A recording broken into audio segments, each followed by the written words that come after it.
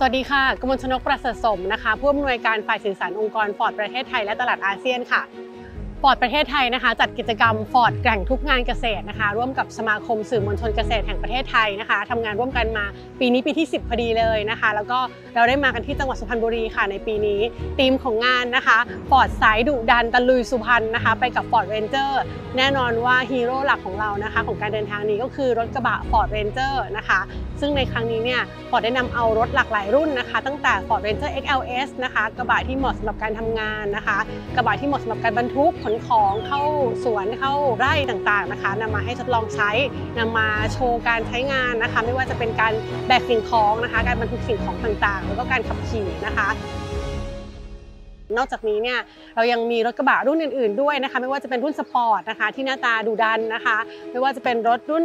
วายแท็กนะคะที่มีความสวยงามสีโดดเด่นก็คือสีส้มนะคะ แล้วก็มีรุ่น Ford Ranger Raptor ด้วยที่หลาย ๆ คนเนี่ยก็ชื่นชอบนะคะว่าเป็นรถที่มีสมรรถนะสูง แล้วก็สามารถแบกบรรทุกแบกขนใช้งานได้ขณะเดียวกันก็เป็นรถที่นำไปใช้ในชีวิตประจำวันได้ สามารถใช้เดินทางต่างจังหวัดนะคะ แล้วก็สามารถเอาออกงานต่างๆได้เลยค่ะ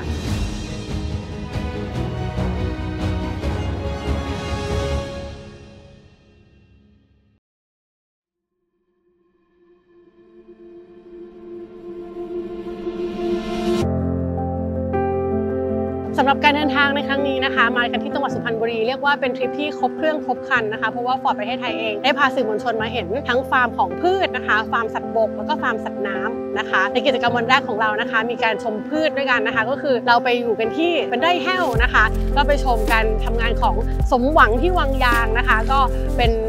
ดูการทำงานของการปลูกแห้วการเก็บเกี่ยวแห้วนะคะ ในโอกาสถัดมานะคะ ก็เดินทางกันมาที่ฟาร์มวัวแล้วก็แพะนะคะ ก็ดูการเลี้ยงวัว American Brahman แล้วก็แพะที่นำเข้ามาจากแอฟริกาใต้ เรียกว่าเป็นฟาร์มที่ประสบความสำเร็จนะคะ ในการเลี้ยงวัว แล้วก็ส่งเข้าประกวดได้รับรางวัลมากมายนะคะ เรียกว่าเป็นเกษตรกรตัวอย่างอีกท่านหนึ่งนะคะ แล้วก็ตอนนี้เรามาอยู่กันที่ฟาร์มกุ้งนะคะ ก็มาดูชุมชน ชมรมผู้เลี้ยงกุ้งคุณภาพจังหวัดสุพรรณบุรีนะคะ ได้เห็นการทำงานของชาวนากุ้งในตอนในเวลานี้นะคะ แล้วก็ได้เห็นว่ารถฟอร์ดเรนเจอร์เขามามีบทบาทอย่างไร ในการขนอาหารกุ้งนะคะ แล้วก็ทำงานในฟาร์มด้วยค่ะ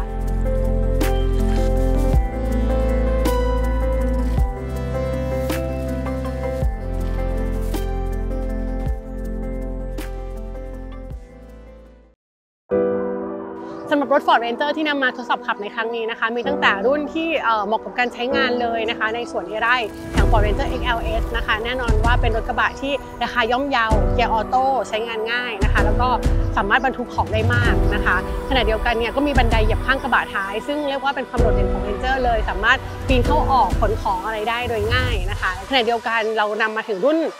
สูงๆเลยอย่างเช่นรุ่น Ford Ranger w i t e c นะคะไม่ว่าจะเป็น w i t e c ที่มาพร้อมเครื่อง bi-turbo นะคะ Wildtrak มาพร้อมเครื่อง V6 ซึ่งเพิ่งเปิดตัวใหม่ไปในปีนี้นะคะ เป็นรถรุ่นใหม่ล่าสุดของ Ford เครื่องยนต์3ลิตร ก็เหมาะสำหรับการบรรทุกหนักนะคะสำหรับคนที่ชื่นชอบ หรือว่าต้องใช้งานการเดินทางกันใช้งานด้วยการไปใช้ชีวิตส่วนตัวด้วยจะไปเที่ยวไป campingอะไรอย่างนี้ก็ยังใช้ได้นะคะ แล้วก็สุดท้ายแน่นอน Ford Ranger Raptor รถกระบะที่ดุดันไม่เกรงใจใครนะคะ จริงๆ ก็เหมาะกับการใช้งานเหมาะกับงานสวน แล้วก็เรียกว่าได้รับความนิยมอย่างมาก ไม่ว่าจะเป็นชาวนากุ้งนะคะ ชาวสวนทุเรียนนะคะ หลายๆ ภาคส่วนเนี่ยก็ให้ความไว้วางใจใช้งานรถ Ford ต้องขอขอบคุณมากค่ะสำหรับท่านที่สนใจรถ Ford Ranger นะคะ แน่นอนว่าปัจจุบันนี้ Ford ก็มีแคมเปญดีๆอยู่ตลอดนะคะ แล้วก็โดยเฉพาะอย่างยิ่งเลยในช่วงเดือนกรกฎาคมสิงหาคมนะคะ ก็เป็นช่วงที่กลางปีนะคะ Ford ก็มีแคมเปญดีๆ ให้ทุกท่านสามารถติดตามได้ ไม่ว่าจะเป็นทาง dealer นะคะ ผู้จำหน่าย Ford ที่มีอยู่ทั่วประเทศเลยนะคะ หรือว่าสนใจข้อมูลเพิ่มเติมเนี่ยติดต่อเบอร์โทร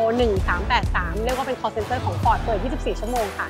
เรียกว่าในครั้งนี้นะคะฟอร์ดเองก็มีความภาคภูมิใจนะคะ ที่ได้เข้ามาเป็นส่วนหนึ่งของการทำงานของเกษตรกรในประเทศไทยนะคะ ก็ได้นำคณะสื่อมวลชนมาเยี่ยมชมฟาร์มที่ประสบความสำเร็จในการทำงาน มีนวัตกรรมนะคะ ในการนำมาใช้เพื่อส่งเสริมการทำงานเกษตรนะคะ มีการแบ่งปันองค์ความรู้ เผยแพร่องค์ความรู้นะคะ และขณะเดียวกันเนี่ยก็ถ่ายทอดเรื่องราวจากใน พื้นที่ทำงานจริง ๆ เลยออกมาให้คนข้างนอกได้ทราบนะคะ ผู้ที่มาร่วมงานเนี่ยมีทั้งเกษตรกร แล้วก็มีทั้งผู้สื่อข่าวด้วยนะคะ ก็มีการแลกเปลี่ยนกันเรียกว่าเป็น networking เรียกว่าเป็นการสร้างเครือข่ายที่เข้มแข็งนะคะ แล้วก็เราก็มีความยินดีมากๆเลยที่มีโอกาสเข้ามามีส่วนร่วมตรงนี้นะคะ แล้วก็คิดว่าในโอกาสต่อๆไปเนี่ยฟอร์ดก็จะยังคงทำงานอย่างเหนียวแน่นนะคะ ร่วมกับสมาคมสื่อเกษตรนะคะ เพื่อนำเสนอเรื่องราวดีๆ กิจกรรมดีๆ ให้กับเกษตรกรนะคะ แล้วก็ส่งเสริมการทำงานของทั้งสื่อมวลชนแล้วก็เกษตรกรในประเทศไทยอย่ตอนเรื่องต่อไปค่ะ ขอบคุณค่ะ Ford Live the Ranger Life